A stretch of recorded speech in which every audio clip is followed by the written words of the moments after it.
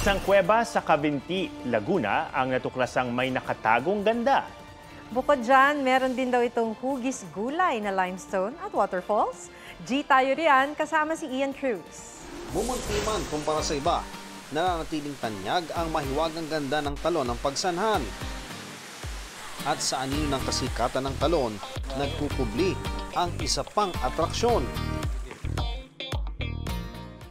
Yan ang Cavinti Underground River and Cave Complex. Ang laki at sukat ng kuweba ay hindi pangkaraniwan.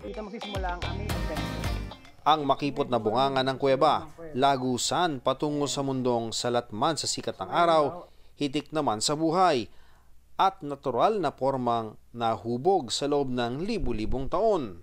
Halos lahat po ng uri ng mga limestone formation ay meron ang kuweba ng Kabintit. Mga bagay na nanghalina sa grupo ni Sandy, isang travel vlogger. Dati wala talaga siyang kalsada papasok. But then nung na-discover siya na pwede for tourists, ginawa ng kalsada para mas madaling puntahan yung lugar. Papasok pa lang sa salubong ng higanting limestone formation, nakawangis daw ng isang uri ng gulay. Ito po yung tinatawag namin na giant squash. Stalactites, stalagmites, may helictites, meron pang mga soda straw, At kung mapapagod sa paglalakbay sa kilo-kilometrong lagusan, maaari ring magtampisaw at marigo. Dahil sa loob ng kuweba, aakalain mo ba may maliliit na talon o waterfall? provided na pala yung helmet. And bago naman kayo pumasok ng cave, talagang meron silang briefing. At ngayong unti-unti nang nakikilala ang lugar, ang hiling ni Sandy sa mga kapwa niya dayo. Pwede kayong mag-outing, magdala ng pagkain, but make sure na talagang hindi nyo lang iwan yung mga basura doon.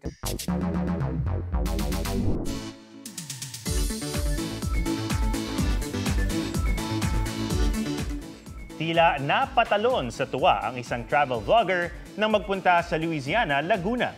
Hindi lang kasi isa, kundi apat na talon o waterfalls ang kanyang nasilayan. G tayo dyan sa report na ito.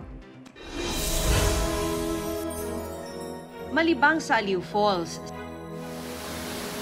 sa ganda ng Talay Falls, mabighani. Tuklasin ang Hidden Falls. At ready ka bang ma-fall sa Hulugan Falls? Ang mga talon na yan pinagmamalaki ng Louisiana, Laguna. Sa pagbisita ni Gabriel Tobes, tila hulog ng langit ang kanyang nakita. Siguro nagkataon na rin na sunerte ako. Um, by the time na nag-hiking kami papuntang Hulugan Falls, medyo uh, umuulan. So, nagkaroon ng tubig. So, gumanda yung, yung ano, bagsak ng tubig dun. Pero di rin daw biro ang pagpunta roon dahil kailangang ihanda ang sarili sa mahaba-habang hiking.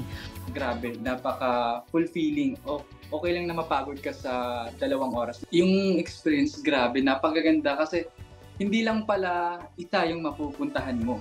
Pwede ring mag-swimming, ingat lang dahil may ilang bahaging malalim. Napakalamig ng tubig actually. Kaya nga, medyo nagtagal ako, na naglangoy pa ako, nagbabad pa ako. Actually, good siya for ano, uh, non-swimmers and swimmers. Huwag rin daw kalimutang lantakan ng sikat na bibingka na swak sa pagtatapos ng relaxing trip.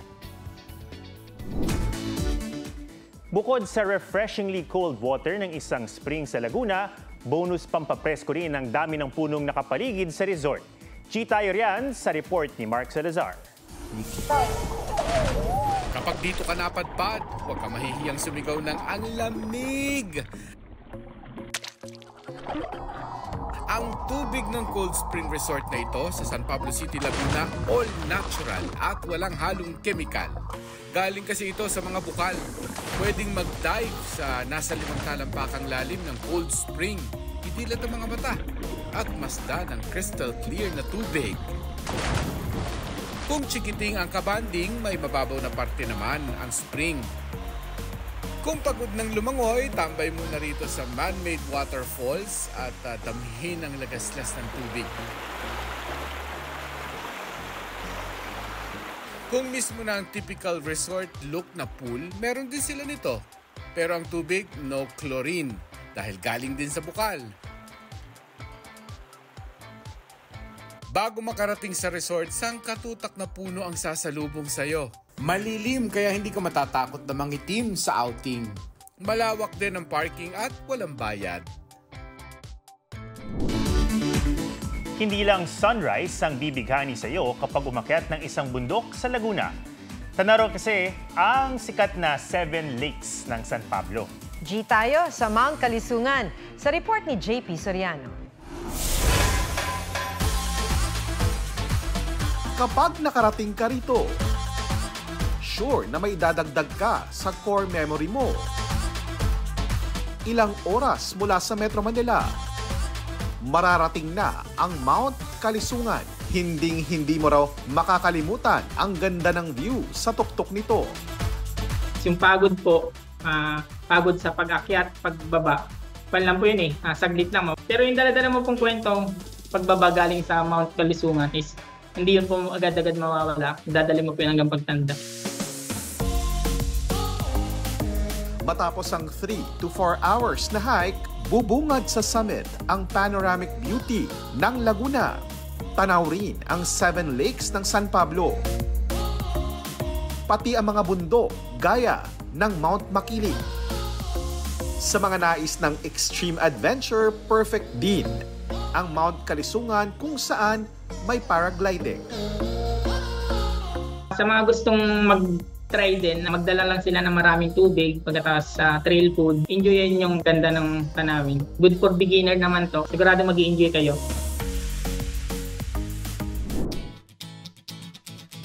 Saan mga adventure with nature,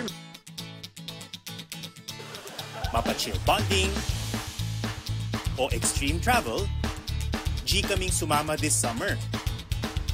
Ipadala lang ang inyong mga vacation videos sa aming Facebook page, State of the Nation-GMA News. Ang next getaway nyo, posibleng itampok namin. Tara, G!